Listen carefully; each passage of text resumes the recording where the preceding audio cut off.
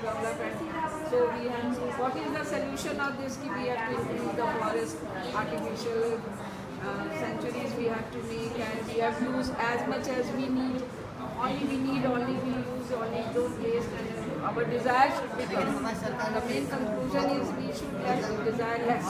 Nowadays people's desires are so much, so they are not thinking of future. They are thinking only about themselves.